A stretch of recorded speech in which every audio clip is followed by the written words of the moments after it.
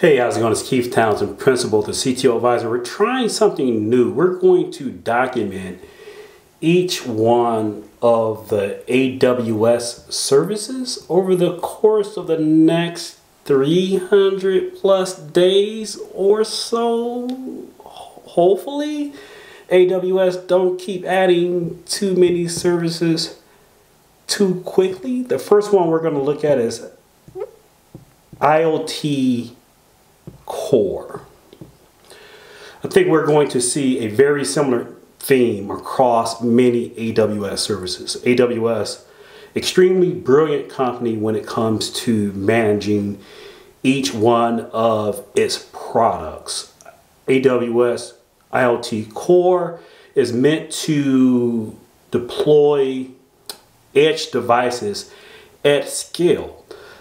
AWS, like many things, abstracts away the concept of kind of the marketing term, meaning IoT or edge, uh, when it comes to the actual thing, a endpoint, something with an agent on it that runs the IoT client, talks back to your AWS account. That client is either a Windows, Linux, or OS 10 device. So let's take a typical client. Let's say it's a camera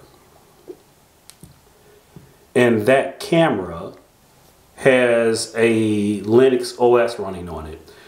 You install the client, that client talks back to the AWS message queue bus, a AWS service, let's say S3, can pick up that message off the bus and then you can create a Lambda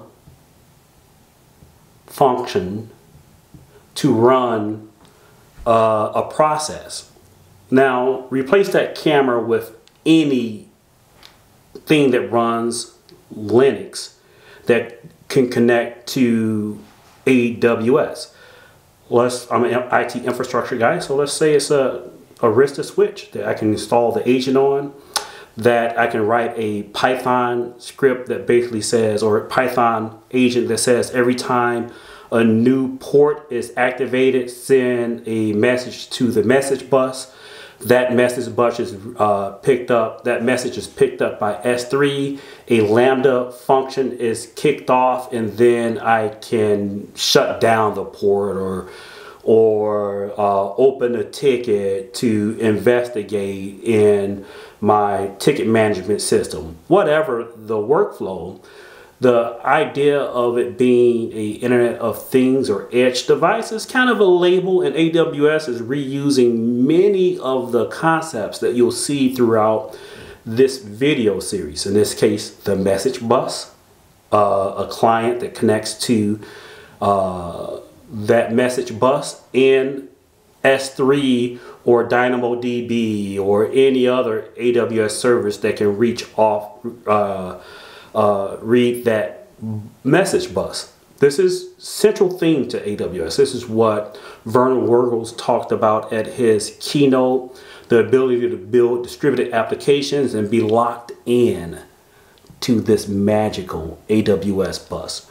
I hope this helps you better understand the AWS IoT core service uh, we'll tackle the next service tomorrow. But if you want to learn more about the service, I linked the video on how it, to actually do a, a, a little experiment with you.